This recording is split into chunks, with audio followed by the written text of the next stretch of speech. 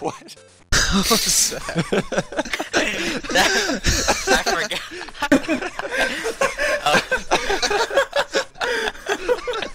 I forgot like, a microphone like an inch from my mouth. that was a I'm wearing- beer.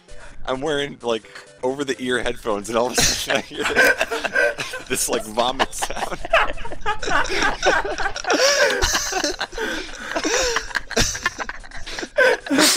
Oh, nice. This is going to be such a good race. Oh, I'm so excited. Oh, I'm ready. I'm so happy I finally get to commentate a race of this in a marathon.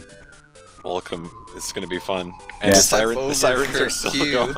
Got new top Uh, TCG yeah, it's uh, 2 a.m. here, but don't uh, expect the sirens to go away. It's the Twitch cops. They found us. All right. Got Ness and Midboss.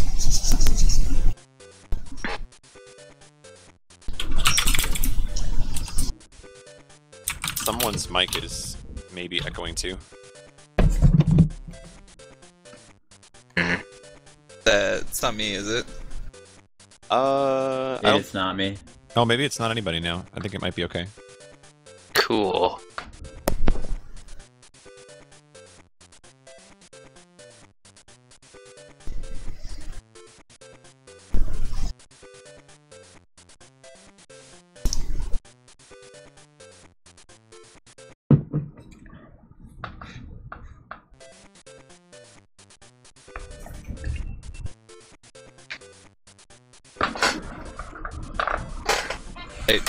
We got a race going, so you want me to just count down with the timer? Start the stream timer. Yeah, man. Someone just give me a countdown and let's go. Let's do it. Alright.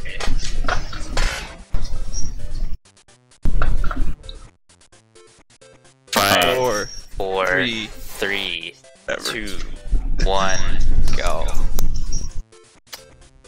Alright, this is a Pokemon TCG, and you might be confused a bit why uh, this is a race or why mi- people might be so excited, but this is actually an extremely fast-paced game, and uh, there's a lot of skill involved in terms of making decisions on the fly and kind of judging what the best move is in certain situations. Uh, right off the bat, well, okay, let me explain. We started from a post-tutorial save because the tutorial is mandatory. It takes about eight minutes, and um, it's really slow and automated and boring and just totally awful. but yeah, uh, at the start there, they actually uh, removed all the energies from their deck. Huh?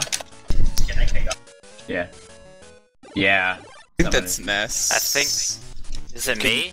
Are you guys okay with actually uh, like muting and letting Cypher do commentary? Would that be easier?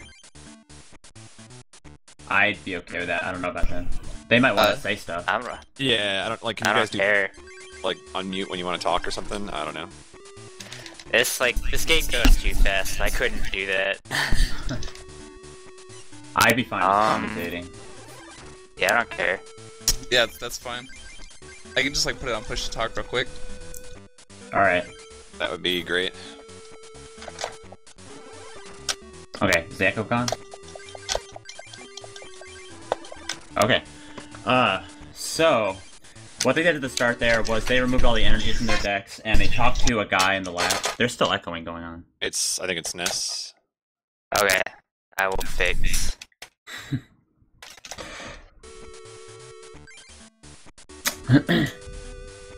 Okay. Test, Okay. test, test. Per push to talk working. Yeah. Okay. Okay, well, basically, they got a bunch of energies at the start. I've tried to explain this for too long. Let's move on. Um, so, doing um, RTAs of this game, meaning like, you know, just uh, attempts to get a fast time, is actually really awful and not a fun experience because every one of these battles can be won in one or two turns if the opponent only draws one basic um, Pokemon card in their hand in their starting hand, and they only have that to play, and you can kill it in one or two turns. Then the, the duel's over and you win. So obviously you want that to happen as much as possible, but trying for as many occurrences of that as po- as possible in an RTA setting is uh, pretty awful. So there's actually a pretty dedicated racing community for this game. Uh, it's a really great race game. There's often a lot of um, funny things that happen, and the leads can swing like a dozen times throughout the race. Uh, like even right now, I'm trying to follow both streams. It's really fast paced. It's hard to hard to follow, but I'll try my best to uh, If you- talk about stuff. If you want, uh, I can like take one stream and try to look at that one too. Oh, do you, are you familiar with uh, Yeah. the run? All right, yeah. I'll JRTA one is Ness or okay. so they both went to the uh, the grass club at the start. You basically need to get the um, the club medals, not gym, club medals, uh, from the eight clubs, and then you can head to the Grandmasters at the begin, uh, the center of the map, and once you beat the Grandmasters, you face your rival Ronald in a final duel, and then after that, the game's complete. So they go to the Grass Club first because um, basically the best starting deck, the fire centric deck, and the fire and fighting centric deck, can pretty easily dispatch all of the Grass Club trainers without needing to um, bank on pulls from boosters. Now you get boosters after you beat each duel, and boosters are pretty important for um, later on the run because there's one key booster, the Coliseum booster pack, that has pretty much all the good cards that you want that help either speed up getting key cards for finishing fights or getting the actual Pokemon that finish fights quickly. Um, the key Pokemon you want to draw in boosters are Dugtrio, Scyther, um, I think uh, and Electabuzz.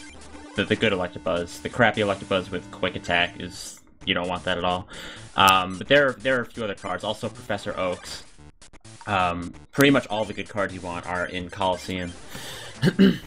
and the other packs have very few useful cards. I think there's like one or two good cards in Evolution. Um, Mystery has double colorless, but you shouldn't ever have trouble getting double colorlesses. And Laboratory has like nothing. So, um, yeah, Grass is just the logical choice to go to first. After that, I think uh, Ness is already in the Lightning Club. And the Lightning Club is also pretty easy because uh, Diglett pretty much destroys all the people in this club. He doesn't take any damage from electric moves that aren't over 30 power. And as long as you draw a Diglett, you'll pretty much sweep each fight. Yeah, and just to give kind of a brief overview, because obviously not everybody that's watching is going to be super familiar with the card game. Uh, Just kind of go over some of the basic rules. So, uh, there's a couple different ways you can win a duel, but the general gist is you sweep a specified number of Pokemon. Um, the health is represented by those spheres, uh, and then above the spheres you see uh, different symbols that uh, mean the different types of energy that are equipped on them, and different moves require different amounts of energy. So, uh, it's important that you have a lot of energy, uh, but I guess not too much because you also need to balance your bench. Because if your bench runs out at any point, you instantly lose the the duel. Right. Um, another aspect of uh, running this efficiently is being able to build decks on the fly with variable draws from boosters. So you do want a lot of energy in your decks, but you also want a good amount of trainer cards to either cycle through um, the deck or find specific cards in your deck or hinder your opponent. And um, you do want a few key Pokemon evolutions so that you're not stuck with like basic Pokemon that can't do shit. Like right now, you see uh, Ness is using. I think that's Ness. Yeah, yeah with Ness Growlithe is there, yep. Growlithe on. Yeah. Uh, Growlithe is a really, really crappy basic Pokemon. Um, Arcanine is good at the start because you don't have other options right now.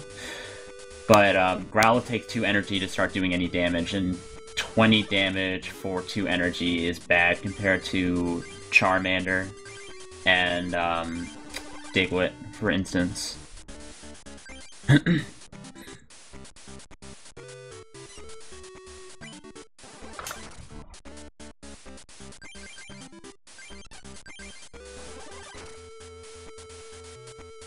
But yeah, right at the start here, uh, you'll see them using this fire and fighting centric deck uh, pretty much all the time. But they will switch it up later on when they need to fight clubs where this deck is less efficient or, you know, um, the Pokemon will be weak to the Pokemon you'll see in, for instance, the Water Club decks.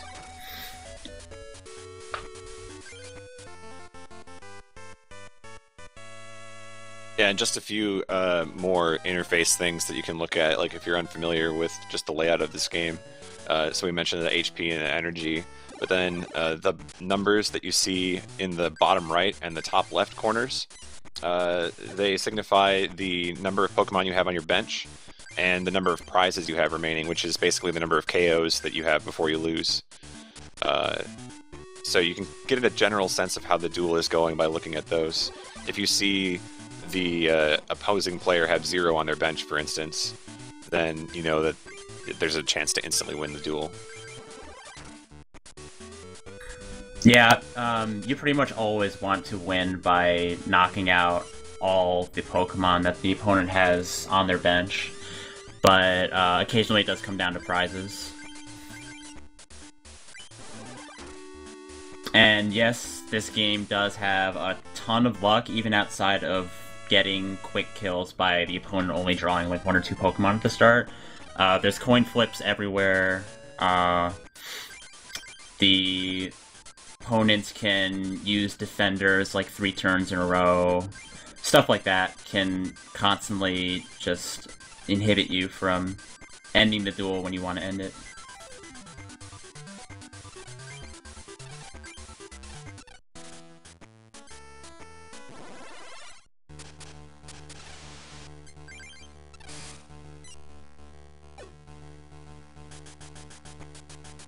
Like right now, um, that Magmar that was alive for a while, that's one problematic Pokemon that uh, every time it attacks, you have to flip a coin when you attack on the following turn. And if you flip tails, you, your attack pretty much just fails. And um, that kind of thing is just all over this run. Which is why people don't really RTA it, they just race it, especially with the um, post-tutorial save file. Because proper RTAs would start from the beginning of the game and do the tutorial, and the tutorial tutorial combined with grinding for like really good luck in every fight is just a very unpleasant prospect.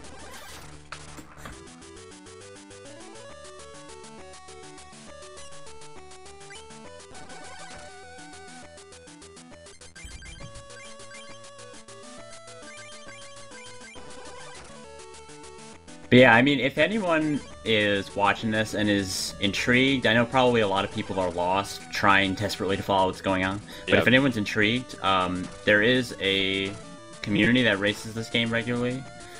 Um, if you know how to get on IRC, the irc.speedrunslive.com server has a, a hash TCG channel, and you can learn how to um, run this game. You can learn the various like deck management um, skills, like decision making skills in fights. And once you get pretty good, like it's actually really really fun to race if you're in the mood.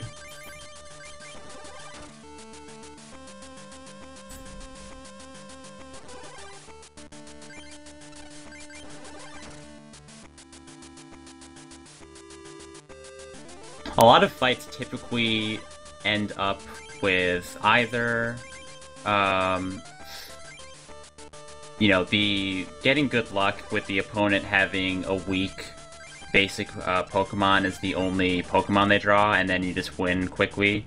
Or if it takes longer than that, generally you'll set up to like, for example, the Charmeleon that ended that fight, or an Arcanine or a Dewgong. Um, you just you kind of yeah. set up for a late game Pokemon that sweeps everything. Right. But um, I think that the real beauty of this run comes into play when it's like a medium between those two, where you're like having to make decisions between. Um, like you- you have to keep track of the energy that's on the opponent's Pokemon because you don't have a clear sweeper in play, but um, you know you have options available, and it's just like the whole duel is making these decisions where if you do something slightly wrong, you'll lose time just because you didn't anticipate all of the possible options Right, and and the, and the longer the duel goes, the more you're invested in it because it's you got to go back and do the whole duel again if you lose. so- Right, yeah.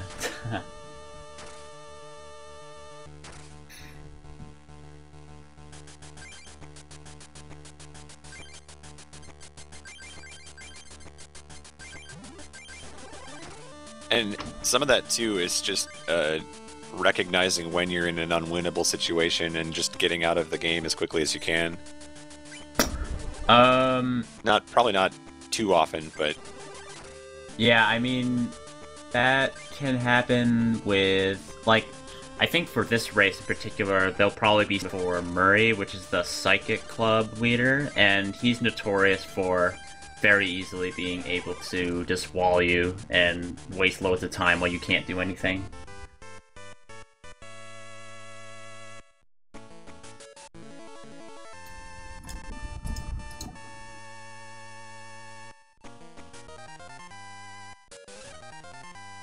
So no surprise with this race so far. Ness Kamikaze is like a cheater and gets good RNG at like everything he does, so he's a bit ahead right now.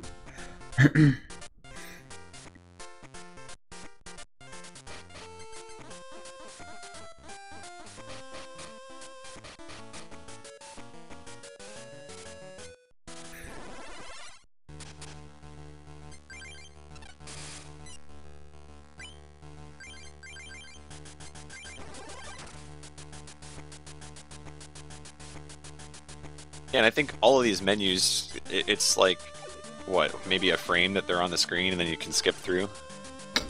Uh, yeah, I don't, I don't know, I have exact figures, but this It's is just this basically it's, this run is just non-stop menuing, which might sound boring on paper, but the fact that it's actually dynamic menuing, where you're constantly making decisions, is really cool. Right, because you have to react every time you draw a card or you know something doesn't go your way in the battle. You got to kind of think on the fly uh, because of how fast you can move through the menus. Any Yeah. time you spend thinking is time that you're losing. hmm So just to comment on um, the fight Ness had, I think he lost the first try at Nikki. Uh, so generally, drawing Diglett first is a good thing, but then you have this fight where Diglett's weak to grass, so it's a really risky thing to um, be banking on Diglett as your point man. But oh, I guess he's set up for Charmander right now. And then uh, on Midboss's screen there, we saw a deck edit. He actually decided to swap in uh, a lot of trainer cards because he had some good draws there. So we see him Mhm. putting some gust of winds Yeah, in his deck. Uh, I think I saw another bill or two. So just doing yeah, things it, to it obviously takes time to uh, go into your deck and edit it, and like, because you you have to have exactly sixty cards in your deck, so you can't just like go and add cards willy nilly. You have to choose the like you have to go to the cards you want to add, and then you have to choose which cards you want to remove. Uh, and you might not want to go into your deck edit to add like one card you drew from a booster, like if you draw, say, Professor Oak from a booster after a fight, you might be tempted to go add it, but um, it might not be worth it because there are a couple fights coming up where you have Coliseum pa- packs that you're getting from fights, and you might draw other Pokemon that you can also add during that deck edit. Someone asked if they're playing with frame skip. No, this is the actual pace of the game. Yeah. It's that fast. Actually, funny thing is, you might notice that there's like a brief white flash um, that transitions between a lot of the actions during duels. Uh, if they were playing, so they're playing on BGB, which is an accurate emulator. It's a good emulator. If they were playing on the common uh, VBA emulator, that actually cuts out those white flashes um, entirely and makes it like even faster. But this is still like blazingly fast.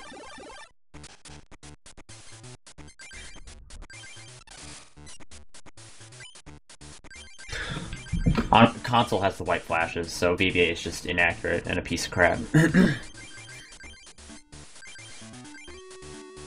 so, um, Ness went to Fire Club after going back to beat Nikki because Fire Club has a lot of colorless Pokemon. Colorless is weak to fighting, and you're still using this uh, fire and fighting fighting centric deck because fire has high damage output and fighting gets damage out really quickly. Yep. We see uh, Ness actually used the Professor Oak to get rid of his hand and then drew a handful of energy. so ends up having to take a sacrifice there, but now he's got Diglett, so good for him.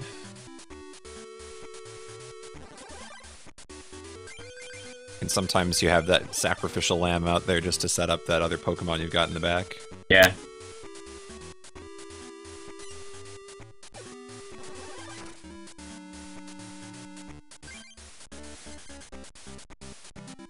Oh, the trainer Ness is fighting is actually a really uh, dangerous trainer. So the um, the fighting club is unique in that you have to go talk to the club leader first, and you can't fight him initially. After you talk to him, his three um, apprentices, I guess, go to the other clubs in order to quote unquote train. And oh, he got a really good booster there. He got Professor Oak and Hitmonchan, both really useful cards. Like Professor Oak is probably top three cards you want to be drawing, regardless of the situation. And uh, yeah, he goes to add that uh, right there. Yeah, for those who don't know, Professor Oak is just discard whatever hand you have and draw seven new ones. Yeah, so, so- it's so- really powerful. Oak can be the only card in your hand, and then you just use it and get seven new cards. So, It's kind of busted. uh, but yeah, the Fighting Club, um, all its trainers are actually really dangerous because they use cards like Hitmonchan and Magmar and Electabuzz that are good standalone Pokemon that can deal damage quickly and also hit hard. Like in particular, Electabuzz is probably uh, the all-around, like just worst Pokemon in general to face. Obviously, there are Pokemon that can deal more damage, like this Arcanine right now. oh my god. That's a stacked Arcanine. Yeah. But uh, Electabuzz can just come out instantly. He can paralyze you uh, indefinitely, and then he can start dealing 40 damage a turn with Thunder Punches.